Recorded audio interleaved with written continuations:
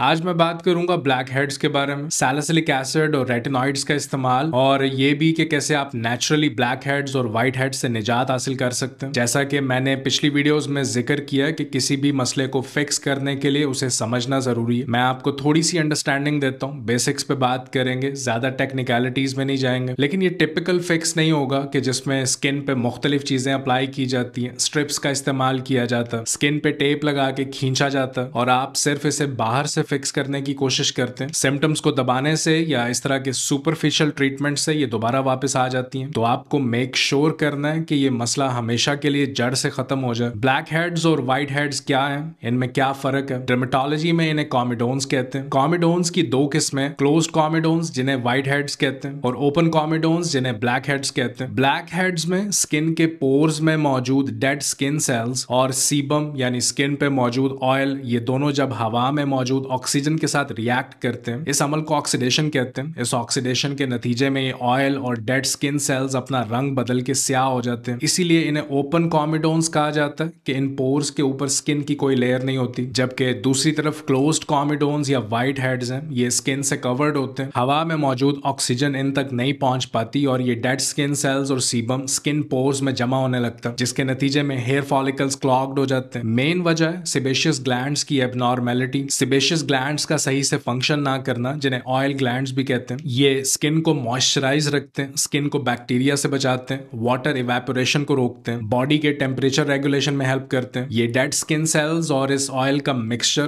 Plus bacteria जिसे आम जबान में पस कहते हैं। यहाँ जो ज़्यादातर लोग गलती करते हैं, वो ये कि इसे बार बार धोने लगते हैं ओवर वॉश करते हैं, ये सोच के कि इस तरह से स्किन साफ़ हो जाएगी। अक्सर इसके लिए सिंथेटिक स्क्रबर्स का इस्तेमाल किया जाता है फेशियल क्रीम्स का इस्तेमाल किया जाता, पोर स्ट्रिप्स का इस्तेमाल किया जाता। है देखें आर्टिफिशियल क्लींजर्स को इस्तेमाल करने से स्किन पे मौजूद फ्रेंडली बैक्टीरिया प्रोपियोना बैक्टीरियम एक्नेस और कुछ और स्ट्रेन जो कि हमारे मुदाफियती निज़ाम का भी इसम ये गुड बैक्टीरिया स्किन को प्रोटेक्ट कर रहे होते हैं बैड बैक्टीरिया से। स्किन को ओवर स्टेरिलाइज करने से फ्रेंडली बैक्टीरिया मर जाते हैं और इनकी तादाद कम होने से बैड बैक्टीरिया की तादाद बढ़ने लगती है। तो जब आप ओवर वॉश करते हैं स्किन को स्टेरिलाइज करते हैं तो स्किन पोर्स में इन्फेक्शन का खतरा बढ़ जाता है। ये प्रॉब्लम हो ही क्यों रही है? ये प्रॉब्लम आ कहाँ से रही है? असल मसला एंड्रोजन हार्मोन्स की ज्यादती जो कि सिबेशियस ग्लैंड्स की एबनॉर्मेलिटी की वजह बन रही है। प्यूबर्टी या बलूगत में ये बहुत कॉमन है। इसलिए ब्लैक हेड्स का मसला टीन में कॉमन है। मेन हार्मोन है टेस्टोस्टेरॉन ये लड़कों और लड़कियों दोनों में पाया जाता है। एक वीकर टेस्टोस्टेरॉन होता है और एक स्ट्रॉन्गर टेस्टोस्टेरॉन होता है। स्ट्रॉन्गर को डीएचटी बोलते हैं। ये मसला डीएचटी लेवल बढ़ने की वजह से होता है। अब सवाल ये पैदा होता है कि डीएचटी बढ़ क्यों गया? ज़्यादा डीएचटी ज़्यादा इंसुलिन की वजह से पैदा होता है और एक और हार्मोन है, जिसे insulin like growth factor hormone number one कहते हैं। आईजीएफ वन हार्मोन ये दो हार्मोन्स हैं जो डीएचटी में स्पाइक की वजह बनते हैं। डीएचटी का बढ़ा हुआ लेवल पोर साइज़ को बढ़ाता है ऑयल प्रोडक्शन को बढ़ाता है। अब जब हमें वजह का पता चल गया तो इसे फिक्स करना आसान हो जाएगा, अगर आप इंसुलिन स्पाइक को रोक लेते हैं। और ये जानना भी ज़रूरी है कि इंसुलिन को ट्रिगर क्या चीज़ कर रही है। आईजीएफ वन हार्मोन क्यों बढ़ रहा है? तीन चीज़ें नंबर एक पे refined carbohydrates pasta